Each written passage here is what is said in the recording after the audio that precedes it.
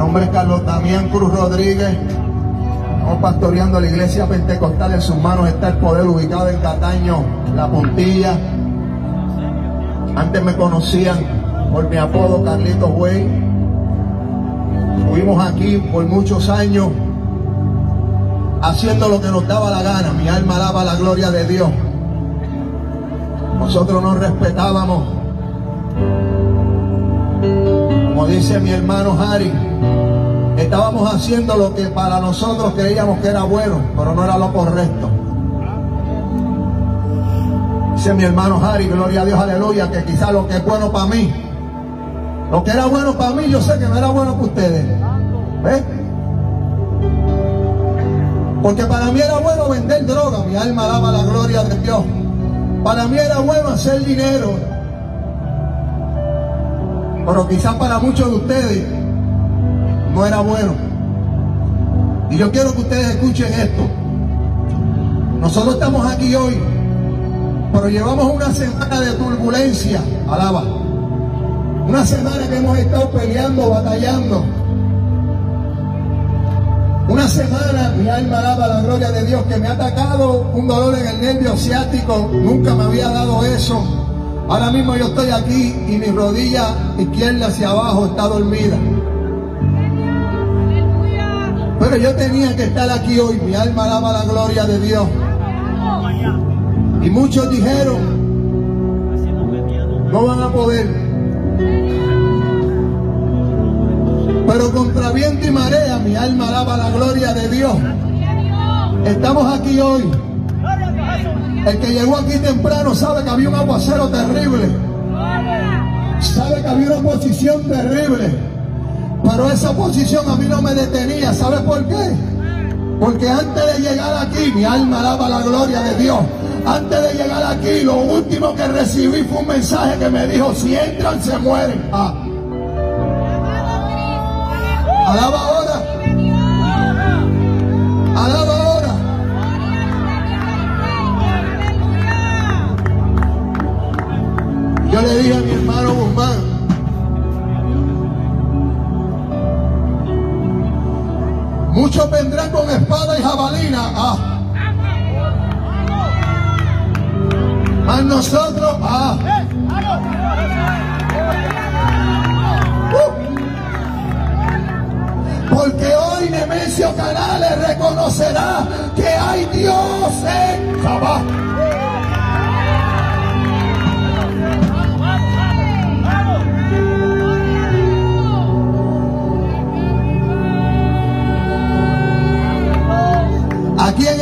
residencial público comenzamos una guerra,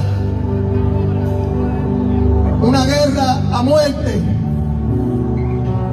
Nosotros no teníamos valor por la vida. Esto era un quítate tú para ponerme yo. Y aquí en este residencial público planeamos la muerte de muchas personas. Pero Dios tenía otros planes, mi alma alaba la gloria de Dios. Dios tenía otros planes, mi alma alaba la gloria de Dios. Que aunque mi nombre, que aunque el nombre de Ale, que aunque el nombre de Carlos estuviera metido en la olla, mi alma alaba la gloria de Dios. Estuviera metido debajo de la vela, ay, mi alma alaba la gloria de Dios. Ya estaba escrito, Sabá.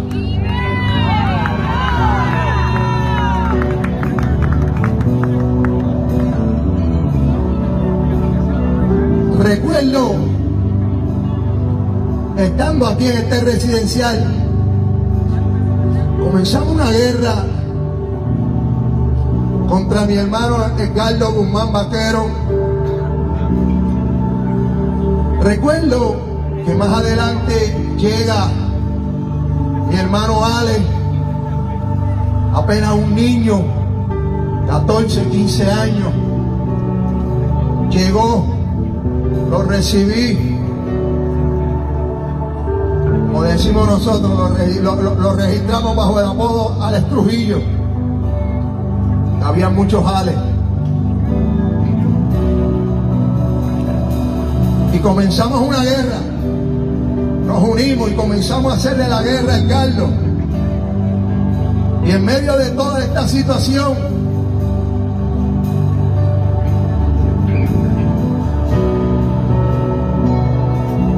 Carlos entró un día al residencial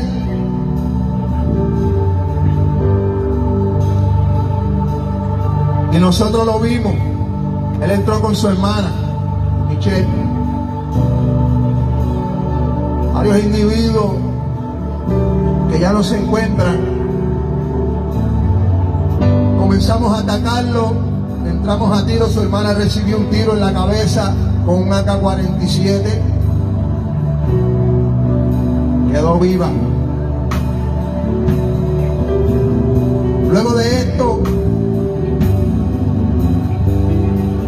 estando nosotros entrando un día al residencial, ya estaban aquí adentro lo que nosotros llamábamos nuestros enemigos. Recuerdo que yo iba con Ale en el carro Nos salieron por el edificio 16. Cuando llegamos al 20 comenzaron a dispararnos. Fueron disparándonos desde el edificio 20 hasta el edificio 37. El carro parecía un colador. Pero nosotros no recibimos ni un impacto de bala. Yo hablaba con Alex, aleluya, hace poco y decía que la sangre de Cristo estaba cubriendo el carro. Mi alma alaba la gloria de Dios.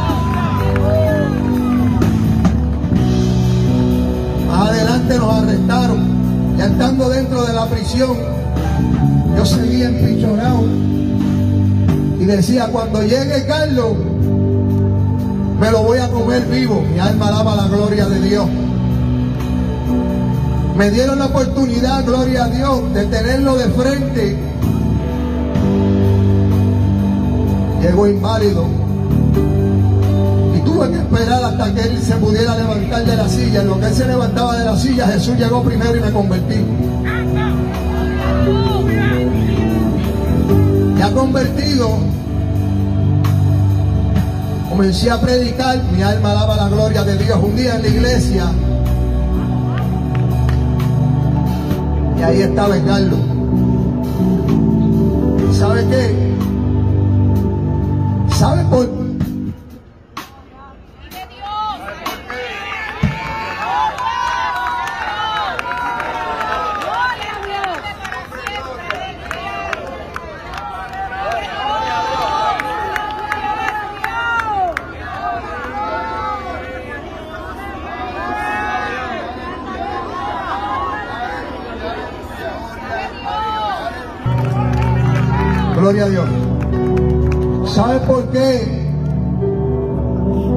Yo no pude hacerle nada a él, ni él pudo hacerme nada a mí.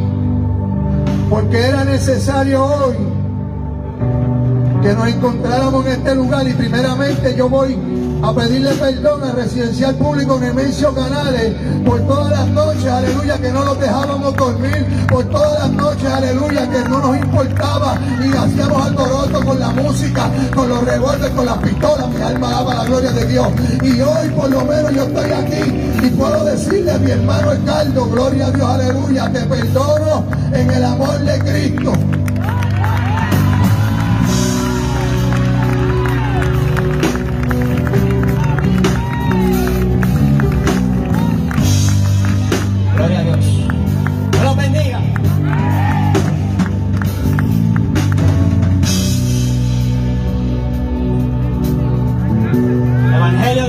Capítulo 27, versículo 22. Y Pilato les dijo, ¿qué haré pues de Jesús llamado el Cristo? Y todos le dijeron, sea crucificado. Y así estaba yo. Crucificaba a cualquiera.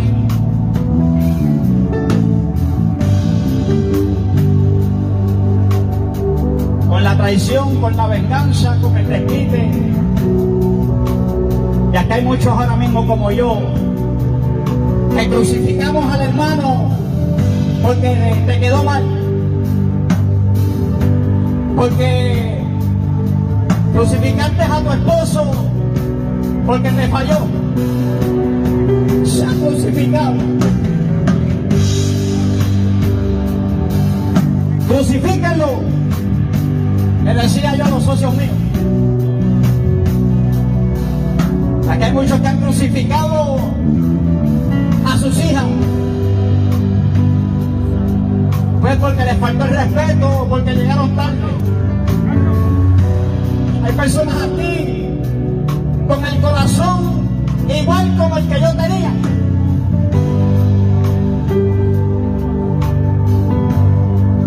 Discutiste con el compañero del trabajo, crucificado.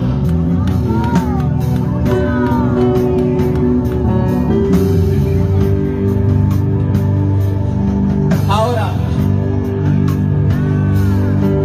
dijo Pablo, fui crucificado juntamente con Cristo.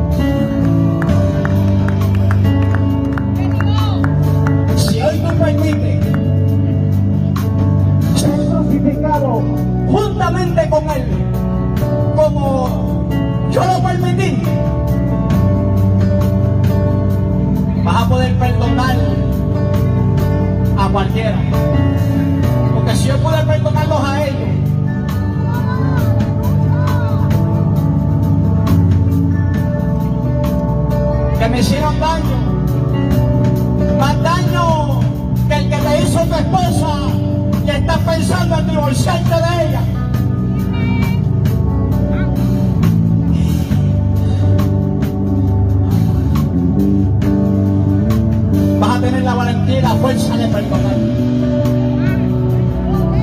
Perdóname, varón.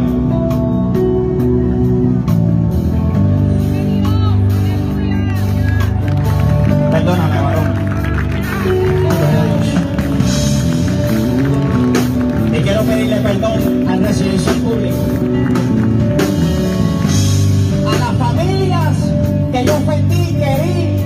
A las familias que por una razón u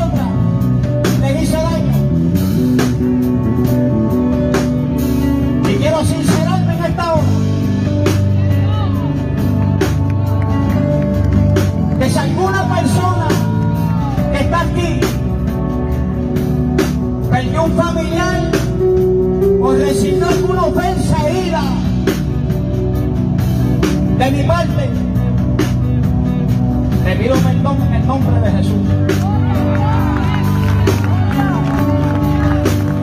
Dios los bendiga y recuerden, el perdón más importante es el de Dios hacia tu persona. Amén. Dios lo bendiga. Dios bendiga al pueblo de Canales. Dios les bendiga mucho más. Mira, yo cuando hace 20 años yo no entraba a este lugar, a esta, este residencial, yo no entraba hace 20 años.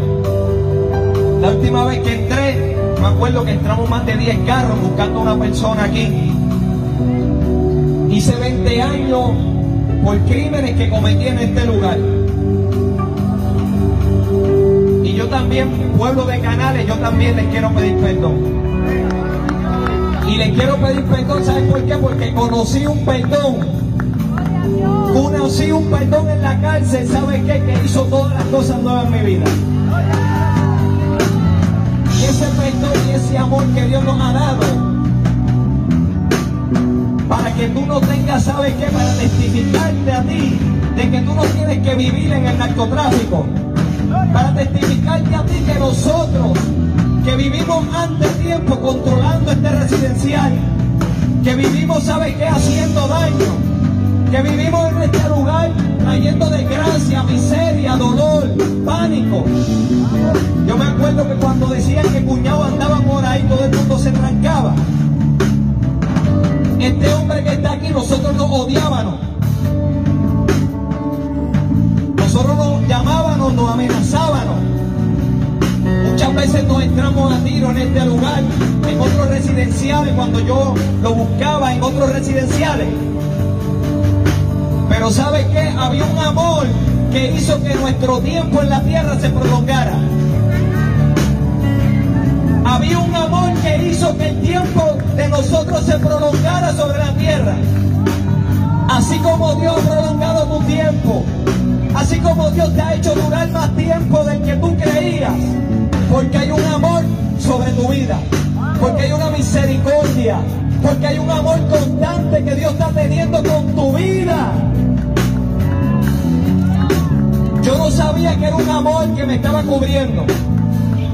Yo no sabía que era la misericordia de Dios la que cubría cada vez que intentaba matarme. Yo no sabía que una vez que cuñado entró, yo me acuerdo que entraron a quedarse en este residencial. Y yo y nos lo fuimos detrás en el carro. Y ellos comenzaron a dispararle al carro y le dieron más de. Bueno, el carro lo llenaron lleno de boquetes. Lo que yo no entendía era por qué Dios guardaba un pecador. Lo que yo no entendía era por qué Dios guardaba al impío. La realidad es que Dios guarda al impío porque dice que yo no quiero la muerte del impío, dice Jehová. Yo no quiero la muerte del que muere, dice Jehová. Yo no quiero la muerte del que muere porque Dios no quiere que tú mueras tu delito y pecado. Dios no quería que nosotros muriéramos nuestros delitos y pecados. Dios no quería que Satanás tuviera una victoria sobre nuestras almas. Dios no quería que nosotros viviéramos separados eternamente de Él. ¿Saben por qué Dios no quería que murieran nuestros delitos y pecados? Porque había un perdón dispuesto para nuestras vidas. Porque había un, un perdón dispuesto para nosotros. Porque había un Dios que nos estaba llamando con cuentas de amor. Porque había un Dios, ¿sabes qué? Que tenía planes y propósitos. Así como Dios tiene planes contigo, con tu familia, con tu casa. Porque hay un plan, porque hay un propósito. Hace 20 años nosotros vivíamos en disputa, en guerra, en problemas. Esto que ustedes están viendo aquí esto es un milagro de Dios. Esto es un milagro de Dios, ¿sabe por qué? Porque yo odiaba a cuñado. Yo lo odiaba, ¿sabe por qué? Porque yo pensaba que él había tiroteado el negocio a mi papá. Pero ¿sabe qué? Cuando yo conocí ese perdón de Jesús, cuando yo entendí que Dios perdonaba mis pecados, cuando yo entendí que Dios me dijo, hago cosas, todas las cosas nuevas en tu vida, ¿sabes qué? Yo me rendí ante sus pies. Me rendí ante los pies de Jesucristo. Me cansé del pecado, me cansé de la maldad, me cansé del poder, me cansé de la avaricia, me cansé de la vanidad de este mundo. Me cansé de controlar caserío, me cansé de hacerle daño a las personas. Y me cansé, ¿sabes por qué? Porque todo ese daño que yo había hecho me estaba volviendo loco. Y hace 16 años que recibí a Jesús. Hace 16 años yo reconocí a Dios que te está llamando en esta noche.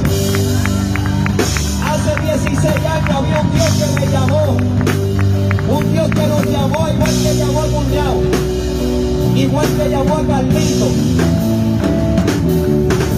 Y ustedes están viendo el resultado de ese perdón están viendo el resultado de la misericordia de Dios sobre nuestra vida. Están viendo, ¿sabes qué? La obra de Dios manifestada sobre nuestra vida. Antes yo no entraba en este lugar como, yo no me atrevía a entrar en este lugar como entramos ahora. Cuñado, ¿tú te atrevías a entrar antes así? Hemos entrado, ¿sabes qué? Antes entrábamos con pistola, con rifle, ahora entramos con la palabra de Dios. Predicando un evangelio de poder.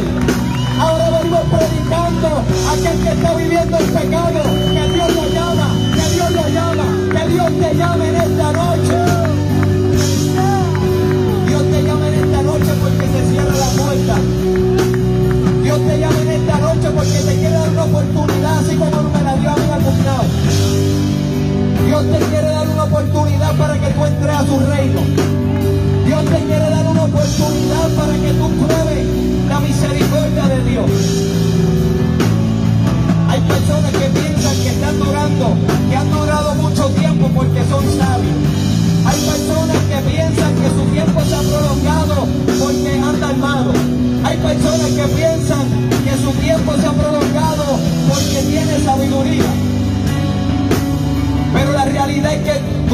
se ha prolongado sobre esta tierra porque hay un Dios que te ama. Porque hay un Dios que no quiere que mueran tus delitos y pecados. Porque hay un Dios, ¿sabe qué? Que no quiere que Satanás tenga una victoria sobre tu alma.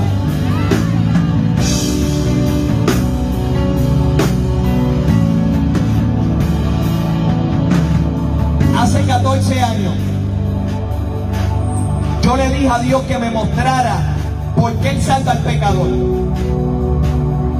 Y me dijo el Espíritu Santo, entra a tu cuarto. Y cuando entré a mi cuarto, ¿sabe que El Espíritu Santo se desprendió dentro de mí. Y yo comencé a sentir una angustia tan atormentadora que yo sentía que mi alma se estaba consumiendo en un fuego. Y yo caí de rodillas porque esa angustia era tan atormentadora que yo no podía ni pensar. Y yo me arrodillé y yo le dije, Señor, tú dijiste que iba a estar con nosotros hasta el fin del mundo. Y en ese momento, en ese momento, la presencia de Dios comenzó a descender sobre mí y hacía desvanecer esa angustia tan atormentadora. Y Jesús me decía, esa es la muerte segunda de la cual yo vengo a salvar al mundo entero. Esa es la muerte segunda que yo no quiero que los jóvenes de Puerto Rico tengan partícipe de esa segunda muerte. Esa es la segunda muerte, ¿sabe qué? Que tendrán que experimentar todos aquellos que no me confiesen como Señor y Salvador. Por eso es que Dios espera pacientemente por ti. Por eso es que Dios está pensando en tu vida. Porque Él no quiere que tú sufres esa segunda muerte. Porque Dios no quiere que eternamente tú estés separado de su presencia. Y por eso Dios nos ha traído en esta noche a testificarte a ti, joven, que vives viviendo con odio, que vives con avaricia. Mira, ¿saben qué? Todos los que tratan de controlar este caserío, todos terminan muertos, presos. En la federal se encuentra Mel haciendo más de 100 años. Porque trataron de controlar un caserío que nunca fue de ellos. Todos los que murieron en el pasado, Escarlata, Luis Luna, todos los que murieron en el pasado, ¿sabes por qué? Porque también pensaban que podían controlar este lugar. Lo que no sabían era que había un diablo que los controlaba a ellos y que quería robar su alma. Y este evangelio que te van a presentar en esta noche, este evangelio te está llamando para que tú entres por las puertas que nosotros entramos. Para que tú entres por las puertas de salvación. Para que tú entres, ¿sabes qué? Guste de este Dios que testificamos. Que hizo posible que el odio que había entre nosotros y cuñado, ¿sabes qué? Se desvaneciera. Un Dios que cambió el corazón de nosotros. Un Dios que puso amor donde había odio. Un Dios que hizo posible, ¿sabes qué? Que donde había enemistad, ahora hay una amistad, ahora hay fidelidad, ahora ¿sabes qué? Nos amamos. Ese es el Dios que te vienen a presentar en esta noche.